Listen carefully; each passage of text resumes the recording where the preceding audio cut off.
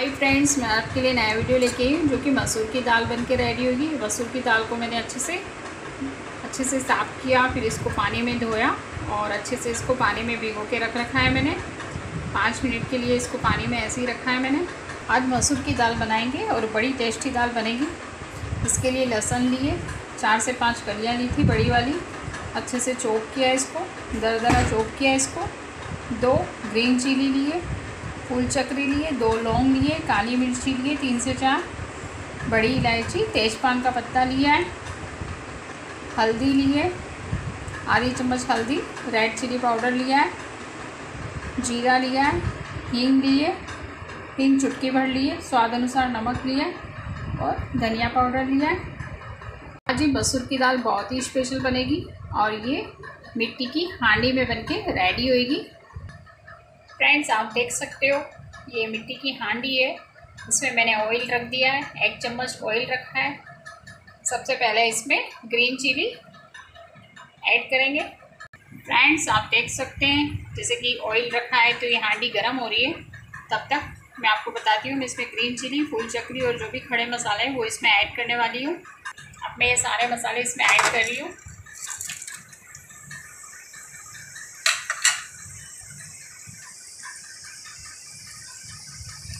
Friends इसमें लहसुन जो चॉप करी थी, वो मैं इसमें ऐड कर रही हूँ। अच्छे से मिक्स करेंगे इसको। आप लहसुन नहीं पसंद करते हो तो आप टमाटर भी डाल सकते हो लहसुन की जगह। अच्छे से मिक्स करेंगे इसको। पाँच से दस मिनट तक उसको इसमें ही चलाते रहना है। फ्रेंड्स अब इसमें हल्दी पाउडर ऐड करूँगी मैं। ये मैं हल्दी पाउडर ऐड कर रही हूँ इसमें। अच्छे से मिक्स करेंगे इसको। अब रेड चिली पाउडर ऐड कर रही हूँ मैं इसमें। फ्रेंड्स अब इसमें मैं स्वाद अनुसार नमक भी ऐड करूँगी। और जो हींग थी वो भी मैं इसमें ऐड करूँगी। जो मैंने खड़े मसाले डाले थे, उसके जस्ट बाद मैंने जीरा भी ऐड किया था। अच्छे से मिक्स करेंगे इसको। अब इसमें मैं एक गिलास पानी ऐड कर रही हूँ।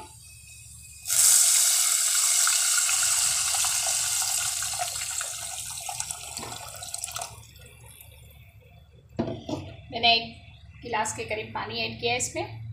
अब इसमें अच्छे सा उबाल आएगा। फ्रेंड्स, आप देख सकते हैं पानी का अच्छे से उबाल आ गया। अब इसमें मैं दाल डालूँगी जो मैंने अच्छे से धो के तक रखी थी, वो इसमें डालेंगे। फ्रेंड्स, ये दाल मैंने इसमें ऐड कर दी है। जैसा कि मैं आपको दिखा रही हूँ, फ्रेंड्स। अब ये दाल इसी में उबलेगी। और ये चार से पाँच मिनट तक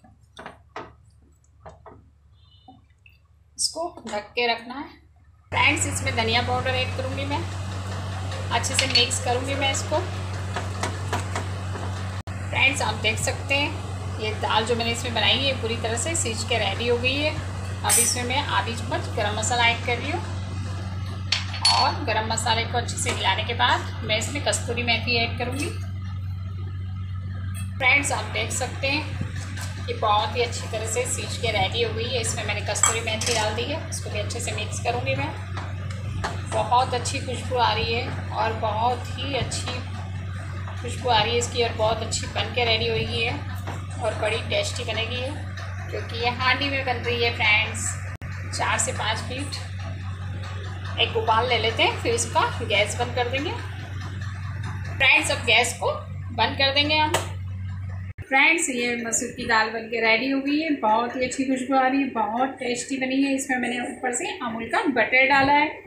इसको नान के साथ, चपाती के साथ, पराठे के साथ, जिससे भी आपको पसंद हो, उसके साथ बना के ज़रूर खाइए इसको और ज़रूर ट्राई कीजिए इसको। और मेरे चैनल को सब्सक्राइब कीजिए लाइक कीजिए शेयर कीजिए। फिर मिलते हैं अगले वीडियो के साथ।